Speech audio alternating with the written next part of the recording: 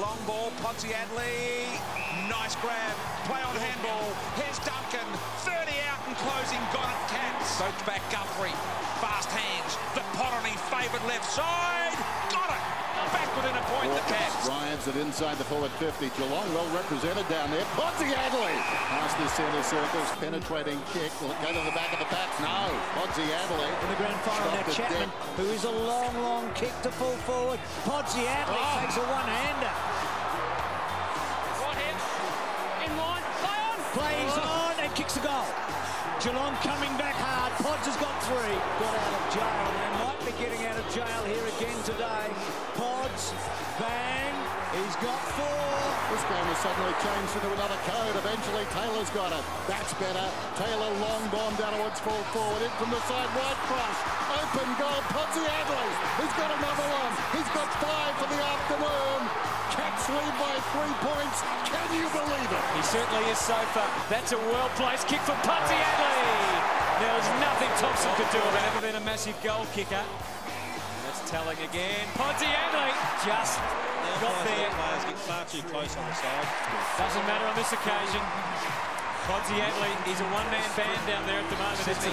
For Podsiadly, he was in the right position that time, and he thought about playing on. He's still thinking about it. set up around the corner. And another goal is registered to James Podsiadly. That Motlop is a speedster. How's the kick going to go? Ground willing it on. It holds up in the breeze. And Podsiadly got there. That's their 12th mark for the quarter. Geelong, Richmond have not taken a mark, and that's the Geelong we know, Lindsay. That was just power football. He turns around. It's a dangerous ball coming in. Podsiadly, the crowd now telling him to go back and have a shot. Hawkins is up. He's okay. Crawley right there with him. And Duncan up as well. Long one. Strong one.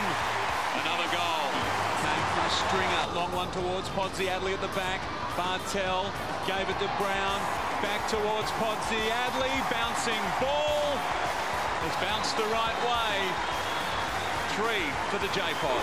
He has been so bad, but he's never really got hold of Collingwood. The most goals he's ever kicked against them in a match is two. And that one is working its way back.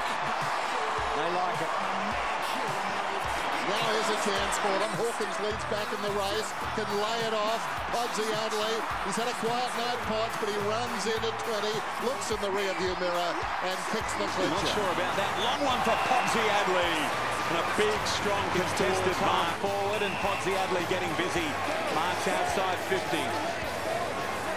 Crowd wanted a 50-metre penalty, nothing doing. Just the second time that the GWS have kicked four goals in the opening term, and no surprise, the only previous was against Gold Coast. Their one and only win in the competition. Long kick, clears the line.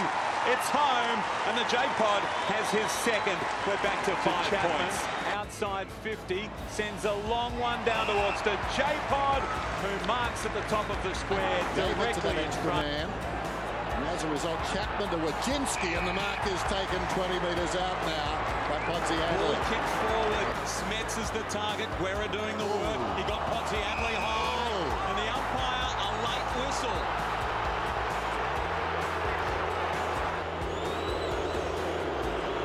This to make the margin 13 points again. He kicks and gives the Cats a little bit of breathing space. Your fault, you ran out of bounds. Podsiadly's got the football. That turned out okay for the Cats. Podsiadly, one step, hooks it back. That's a brilliant kick. Puts it right through the middle. The JQ jams it on the boot. High ball inside the forward 50. Podsiadly. It was like a marsupial catching the football there in He's punch. kicked a couple. Can he join Cox on three? He's a long, long way out. Gee, struck it well. Has it got the journey? It has. So Pods has come into the party. He's kicked three, the veteran. All over Bruce. Centering kick. Duncan, he's been terrific as well. Podsiadly almost climbed the mountain, but then Geelong had skipped away. Stokes, clever. Podsiadly deep in the pocket. Fancies himself. Podsiadly runs around and kicks his second. He's good last quarter as well, just to join in when they needed a bit of energy. What about Stokes' influence tonight? Yeah, he's been good tonight. He's had the 22 disposals, and there's still spots up for grabs. I think that's part of the exciting thing when you get towards the finals is who's going to jockey into which position. Allen Christensen's He not averaged 70 points for, for the season. Oh, that's a bad kick too. Good kick for the Cats. Podsiadly's within range. Especially with the wind over his shoulder. 49 metres. Kicked 52 goals last year. He's got 31 so far this year. Distance was never a problem. He might strike form at the right time of the year. kicked it inside 50. Christensen now Goods working deep in defence. Handball fired out Podsiadly's way. Mike Pyke with the error. And there's another goal for Geelong. It's tied up yet again at Simonds Stadium. Saturday afternoon football is alive. Canterbury left it behind. Bartel gathers, sends it down towards full forward. Podsiadly! Third attempt. Was he made the mark? Yes, he was. This for a 44-point lead for the Cats. They're locked in now. They will play Fremantle or North Melbourne next week in Melbourne. The kick on its way. The J-Pod has his second.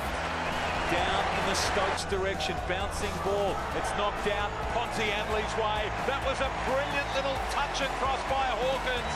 And finally, Geelong get their 16th goal of the game.